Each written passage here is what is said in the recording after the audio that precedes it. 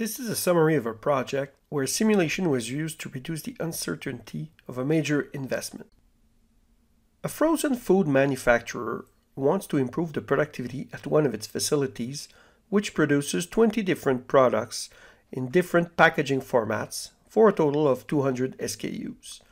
These products are made, bagged, and boxed on 11 processing lines, each ending with a manual palletizing station. In some configurations, products are not boxed on the processing lines, but left in bags in order to be later mixed and boxed as combo packs at another production station. This is scenario 2 in this video. The company is planning to invest millions of dollars in an extensive conveyor system to carry the cases of products from each of the processing lines to a central robotized palletizing area.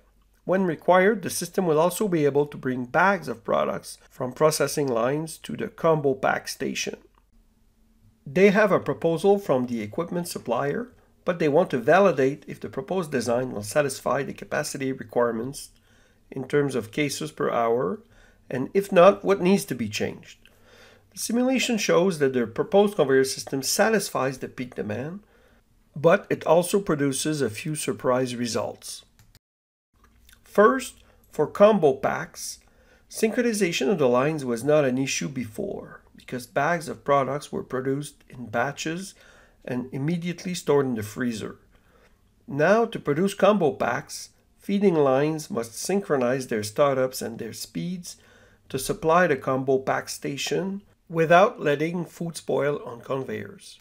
Second, even though the palletizing area was not fully simulated in detail as part of this project, the model shows us that the robots will be the bottleneck of the new system and could cause major issues as they'll need to operate at more than 80% of their maximum cycle time during peak demand.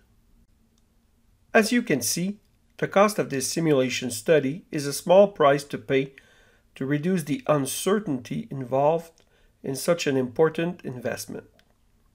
Thank you.